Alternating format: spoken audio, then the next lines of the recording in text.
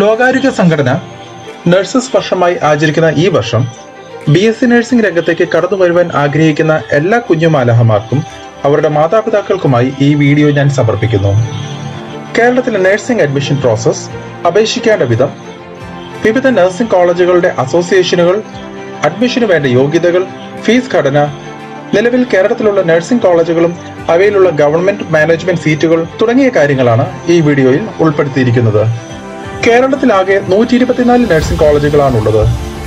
അവയിൽ ഏഴെണ്ണം സർക്കാർ മേഖലയിലും ബാക്കിയുള്ളവ സ്വാശ്രയ മേഖലയിലുമാണ് പ്രവർത്തിക്കുന്നത്.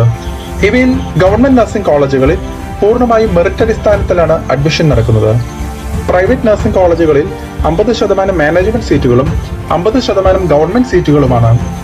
ഇതിൽ ഗവൺമെന്റ് സീറ്റുകൾ മെറിറ്റ് അടിസ്ഥാനത്തിൽ എൽ ബി എസ് വഴിയും മാനേജ്മെന്റ് സീറ്റുകൾ മെറിറ്റ് അടിസ്ഥാനത്തിൽ വിവിധ മാനേജ്മെന്റ് അസോസിയേഷനുകൾ വഴിയുമായാണ് നടത്തപ്പെടുന്നത്. നമുക്കിനി അഡ്മിഷൻ പ്രോസസ് എങ്ങനെയാണെന്ന് മനസ്സിലാക്കാം. നേരത്തെ സൂചിപ്പിച്ചതുപോലെ ഗവൺമെന്റ് നഴ്സിംഗ് കോളേജുകളിലേക്ക് അപേക്ഷിക്കേണ്ടത് എൽ ബി എസ് വഴിയായാണ്. നോട്ടിഫിക്കേഷൻ വന്നതിന് ശേഷം എൽ ബി എസ് സെന്ററിന്റെ വെബ്സൈറ്റ് ആയ W W W dot L B S centre dot in എന്ന വെബ്സൈറ്റിൽ കയറി ഓൺലൈനായി അപേക്ഷിക്കേണ്ടതാണ്. അതിനായി നിശ്ചിത തുക ഫീസായി ഓൺലൈനിൽ അടയ്ക്കേണ്ടതുമാണ് കഴിഞ്ഞ വർഷം അത് ജനറൽ കാറ്റഗറിക്ക് അറുന്നൂറ് രൂപയും എസ് സി എസ് ടി കാറ്റഗറിക്ക് മുന്നൂറ് രൂപയുമായിരുന്നു. അപേക്ഷിക്കുന്ന സമയം ഒരു കുട്ടിക്ക് എത്ര കോളേജുകൾ വേണമെങ്കിലും ഓപ്ഷനായി വയ്ക്കാവുന്നതാണ്. ഓരോ കുട്ടിയുടെ മാർക്കിന്റെ അടിസ്ഥാനത്തിലാണ് പിന്നീട് അവർ തെരഞ്ഞെടുത്ത കോളേജുകളിലേക്ക് അഡ്മിഷൻ ലഭിക്കുന്നത്. എൽ ബി എസ് സെന്ററിലേക്ക് ഒന്നുകിൽ അക്ഷയ സെന്റർ വഴിയോ അല്ലെങ്കിൽ സ്വന്തമായി ഓൺലൈൻ വഴിയോ അപേക്ഷിക്കാവുന്നതാണ്. ഓൺലൈൻ അപേക്ഷകൾ സമർപ്പിക്കുന്ന സമയം ഡെബിറ്റ് കാർഡുകൾ അഥവാ എ ടി എം വഴിയോ അല്ലെങ്കിൽ നെറ്റ് ബാങ്കിംഗ് വഴിയോ ഒക്കെ ഓൺലൈൻ ഫീസ് നമുക്ക് അടയ്ക്കാവുന്നതാണ്. ഇനി നമുക്ക് പ്രൈവറ്റ് നഴ്സിംഗ് കോളേജുകളിലെ മാനേജ്മെന്റ് സീറ്റുകളിലെയും ഗവൺമെന്റ് സീറ്റുകളിലെയും അഡ്മിഷൻ പ്രോസസ്സ് എങ്ങനെയാണെന്ന് നോക്കാം. ഗവൺമെന്റ് സീറ്റുകളിൽ മേൽ പറഞ്ഞതുപോലെ തന്നെ എൽ ഡി എസ് വഴിയായി തന്നെയാണ് നമ്മൾ അപേക്ഷ സമർപ്പിക്കേണ്ടത്. മാനേജ്മെന്റ് സീറ്റുകളിലെ അഡ്മിഷനുകൾ മെറിറ്റ് അടിസ്ഥാനത്തിൽ വിവിധ നഴ്സിംഗ് അസോസിയേഷനുകൾ വഴിയായാണ് നടത്തപ്പെടുന്നത്. കേരളത്തിൽ പ്രധാനമായും രണ്ട് അസോസിയേഷനുകളാണ് ഉള്ളത്.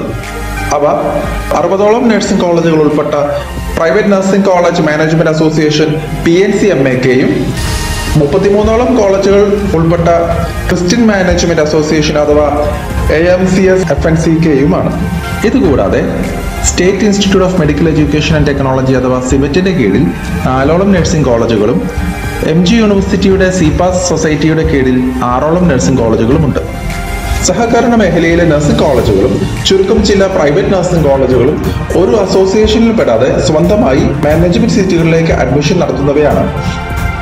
ഒരു കോളേജിന് ആകെയുള്ള നഴ്സിംഗ് സീറ്റുകളുടെ പതിനഞ്ച് ശതമാനം സീറ്റുകൾ എൻ ആർ ഐ കോട്ട വഴി അഡ്മിഷൻ നടത്താവുന്നതാണ്. ഉദാഹരണമായി അമ്പത് സീറ്റുകളുള്ള ഒരു കോളേജിന് ഏഴ് സീറ്റുകൾ വരെ എൻ ആർ ഐ കോട്ടയിൽ ലഭ്യമാക്കാവുന്നതാണ്. മാനേജ്മെന്റ് സീറ്റുകളിലേക്ക് അപേക്ഷിക്കുവാൻ അതാത് അസോസിയേഷനുകളുടെ വെബ്സൈറ്റിൽ കയറി ഓൺലൈനായോ സംഘടനയിൽപ്പെട്ട കോളേജുകൾ വഴിയോ നിശ്ചിത തുക ഫീസ് നൽകി അപേക്ഷിക്കേണ്ടതാണ്. ഓരോ വെബ്സൈറ്റിലും അസോസിയേഷന് കീഴിലുള്ള കോളേജുകളും അവയുടെ വിശദ വിവരങ്ങളും പ്രോസ്പെക്ടസും ലഭിക്കുന്നതാണ്.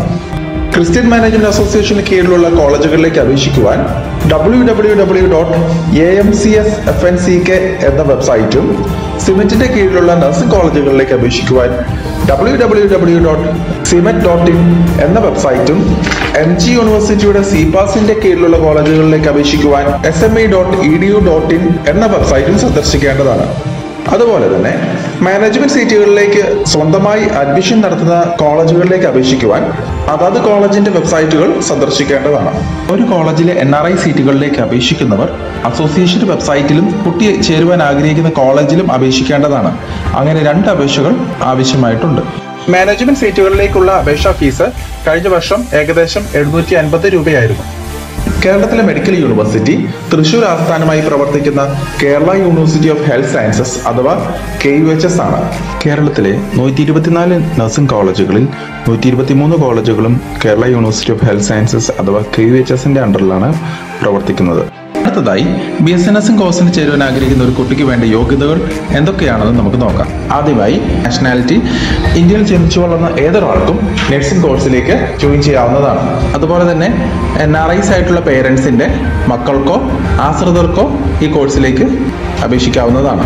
രണ്ടായിരത്തി ഇരുപത് ഡിസംബറിൽ അപേക്ഷിക്കുന്ന കുട്ടി പതിനേഴ് വയസ്സ് തികഞ്ഞിരിക്കണം. പ്ലസ് ടുവിൽ സയൻസിൽ ഫിസിക്സ് കെമിസ്ട്രി ബയോളജി ഇംഗ്ലീഷ് എന്നീ സബ്ജക്റ്റുകൾ നിർബന്ധമായും കുട്ടി പഠിച്ചിരിക്കണം. അതുപോലെ തന്നെ അമ്പത് ശതമാനം മാർക്കോടുകൂടി ഫിസിക്സ് കെമിസ്ട്രി ബയോളജി ഇംഗ്ലീഷ് എന്നീ വിഷയങ്ങൾ പാസ്സായിരിക്കണം. എന്നാൽ മാത്രമേ അപേക്ഷകൾ സമർപ്പിക്കാനും കോഴ്സിന് ജോയിൻ ചെയ്യുവാനും സാധിക്കത്തുള്ളൂ. ജോയിൻ ചെയ്യുന്ന സമയത്ത് കുട്ടി മെഡിക്കലി ഫിറ്റ് ആണോന്ന് മനസ്സിലാക്കുവാനായിട്ട് മെഡിക്കൽ ഓഫീസറിന്റെ മെഡിക്കൽ ഫിറ്റ്നസ് നിർബന്ധമായും ഹാജരാക്കേണ്ടതാണ്. ആയതിനാൽ മെഡിക്കലി അൺഫിറ്റ് ആയിട്ടുള്ള കുട്ടികൾക്ക് കോഴ്സിന് ജോയിൻ ചെയ്യുവാൻ സാധിക്കുന്നതല്ല. എൻ ആർ ഐ സീറ്റിലേക്ക് അപേക്ഷിക്കുന്നവർ സ്പോൺസർഷിപ്പ് തെളിയിക്കുന്ന രേഖകൾ കൂടി അഡ്മിഷൻ സമയത്ത് നൽകേണ്ടതാണ്.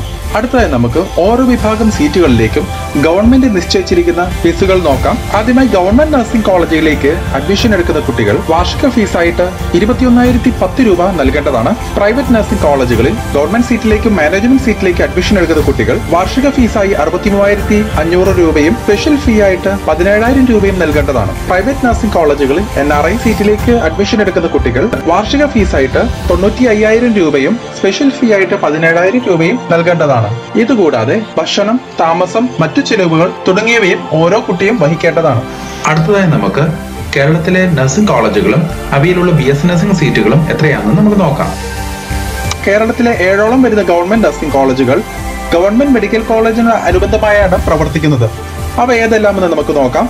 Government college of nursing Thiruvananthapuram government college of nursing Kozhikode government college of nursing Kottayam government college of nursing Alappuzha government college of nursing Thrissur government college of nursing Ernakulam government college of nursing Pariyaram Kannur എന്നിവയാണവ Pathanamthitta ജില്ലയിലെ കോളേജുകൾ ഇവയാണ് T M M college of nursing Thiruvalla പൊയ്യാനിയിൽ college of nursing Kozhencherry mount Zion college of nursing Adoor saint Gregorios college of nursing Parumala M G M Muthoot college of nursing Kozhencherry Chithra college of nursing Pandalam Mar Gregorios memorial Muthoot college of nursing Pathanamthitta Archana college of nursing Pandalam holy cross college of nursing Adoor Pushpagiri college of nursing Thiruvalla Guru college of nursing Thiruvalla എന്നിവയാണ് അവ. സിറ്റിയുടെ C പാസിന്റെ കീഴിൽ പ്രവർത്തിക്കുന്ന nursing കോളേജുകൾ ഏതെല്ലാമെന്ന് നമുക്ക് നോക്കാം. എം ജി യൂണിവേഴ്സിറ്റിയുടെ സി പാസിന്റെ കീഴിൽ നിലവിൽ ആറോളം നഴ്സിംഗ് കോളേജുകളാണുള്ളത് അവ ഇൻസ്റ്റിറ്റ്യൂട്ട് ഓഫ് നഴ്സിംഗ് എഡ്യൂക്കേഷൻ അഥവാ I N E Gandhinagar Kottayam I N E Puthuppally Kottayam I N E Koothattukulam Ernakulam I N E Chuttippara Pathanamthitta I N E Pala Kottayam ഇനി Nedumkandam Idukki എന്നിവയാണവ. State institute of medical education and technology അഥവാ സിമെറ്റിന്റെ കീഴിൽ നാല് nursing കോളേജുകളാണ് പ്രവർത്തിക്കുന്നത്. അവയുടെ സെന്ററുകൾ എറണാകുളം ജില്ലയിലെ പള്ളുരുത്തി തിരുവനന്തപുരം ജില്ലയിലെ വഞ്ചിയൂർ പാലക്കാട് ജില്ലയിലെ മലമ്പുഴ കാസർഗോഡ് ജില്ലയിലെ ഉദുമ എന്നിവിടങ്ങളിലാണ് മേൽപ്പറഞ്ഞ സീറ്റുകളുടെ എണ്ണത്തിൽ ചെറിയ ചില ഏറ്റക്കുറച്ചിൽ ഉണ്ടാവാനുള്ള സാധ്യതകളുണ്ട്. നമുക്കറിയാവുന്നതുപോലെ കോവിഡിന്റെ പശ്ചാത്തലത്തിൽ പ്ലസ് ടു പരീക്ഷാഫലം വരുന്ന കാലതാമസം കാരണം കേരളത്തിലെ ബി എസ് സി നഴ്സിംഗ് കോഴ്സിന്റെ അഡ്മിഷന്റെ വിജ്ഞാപനം പുറപ്പെടുവിക്കാൻ കാലതാമസം നേരിടുന്നുണ്ട്. എങ്കിലും അധികം താമസിയാതെ തന്നെ അഡ്മിഷൻ നടപടികൾ ആരംഭിക്കുമെന്ന് വിശ്വസിക്കുന്നു. കേരളത്തിൽ നൂറ്റി ഇരുപത്തിനാല് നഴ്സിംഗ് കോളേജുകളിലുമായി ഏഴായിരത്തോളം ബി എസ് സി നഴ്സിംഗ് സീറ്റുകൾ ലഭ്യമാണ്. എങ്കിലും എല്ലാവരും പ്രത്യേകം ശ്രദ്ധിക്കേണ്ട ഒരു കാര്യം. ഭൂരിഭാഗം നഴ്സിംഗ് കോളേജുകളിലും മാനേജ്മെന്റ് സീറ്റുകളിൽ നേരിട്ട് അഡ്മിഷൻ നടത്തുവാൻ സാധ്യമല്ല. ആയതിനാൽ കേരളത്തിൽ അഡ്മിഷൻ എടുക്കുവാൻ ആഗ്രഹിക്കുന്ന ഒരു കുട്ടി എൽ ബി എസിലും പ്രധാനപ്പെട്ട മാനേജ്മെന്റ് അസോസിയേഷനുകളിലും അപേക്ഷിക്കേണ്ടതാണ്. ആയതിനാൽ അസോസിയേഷനുകൾ നിർദ്ദേശിക്കുന്ന സമയപരിധിക്കുള്ളിൽ അപേക്ഷകൾ സമർപ്പിച്ച് അഡ്മിഷൻ എടുക്കുവാനുള്ള കാര്യങ്ങൾ സുഗമമാക്കേണ്ടതാണ്.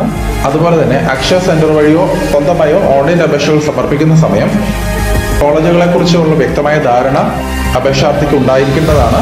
കേരളത്തിൽ ബി എസ് നഴ്സിംഗിന് ചേരുവാൻ നീറ്റ് എക്സാം എഴുതേണ്ട ആവശ്യമില്ലെന്നുള്ള കാര്യം എല്ലാവർക്കും അറിയാമല്ലോ. അസോസിയേഷനുകൾ വഴി ഏകദേശം പത്തോളം നഴ്സിംഗ് കോളേജുകൾ ഓപ്ഷൻ കൊടുക്കാവുന്നതാണ്. അതുപോലെ തന്നെ എൽ ബി എസിൽ പ്രത്യേകിച്ച് പരിധികളൊന്നുമില്ല. എങ്കിലും അവരവരുടെ താല്പര്യം അനുസരിച്ച് കൂടുതൽ നഴ്സിംഗ് കോളേജുകൾ ഓപ്റ്റ് ചെയ്യുകയാണെങ്കിൽ ബി എസ് സി നഴ്സിംഗ് സീറ്റുകൾ കുറച്ചുകൂടി ഉറപ്പാക്കാവുന്നതാണ്.